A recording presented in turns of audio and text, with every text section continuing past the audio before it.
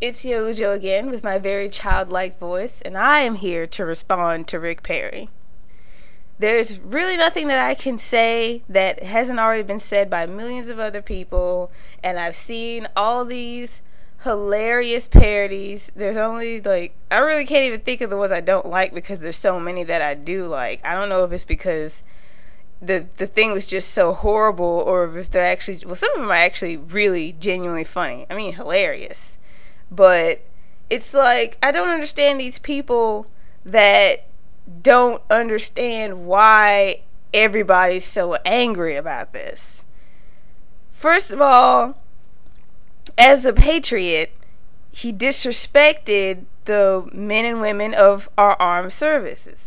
Once you single out a certain group of all these men and women fighting for our rights and to protect our country and sacrificing their lives and their friends and their families to do something so great for us, that's like, you know, you want to be president and you can't respect the everybody in the armed forces, let alone all Americans?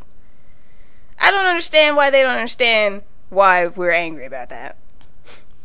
And also, as has been said time and time again, children are allowed to pray and celebrate Christmas in schools. And it's just that they're not allowed, them nor anyone else is allowed to force it on other people. That's what's illegal. But apparently, Rick Perry is just too stupid to understand that. And I think he would actually be worse than George Bush. I mean, I I really don't know uh, about his governor history. I haven't heard much good. I mean, for for myself, I don't know, but I mean, everybody is looking for the economy to get back on track, which is Louisiana's problem. Bobby Jindal is back in office because he did bring in jobs, but morally, we're like fucked. I mean, this is the the reason why this is one of the anti-gay states is because, of course, more so of who runs it, and him being funded behind the Louisiana Family Association of bullshit is what makes it what it is, and then that leaks off in other people. And you know, if the head is sick, the body's sick, is what I'm saying.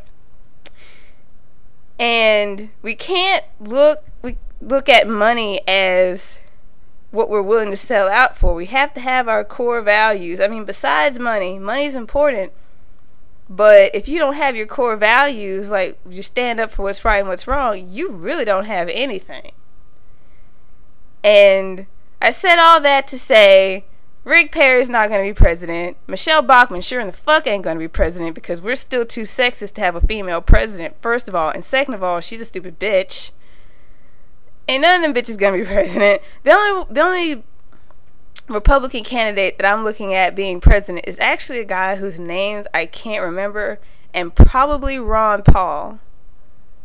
And the only Democrat I can think of right now is Obama. There is this guy named Fred, and he's an openly gay candidate, but I don't know if he's still running because I haven't heard anything from him recently. So we got that, and uh, I I hope everybody had a good Thanksgiving. If I don't post anything uh, between now and next year, have a good Christmas and Happy New Year. See you later.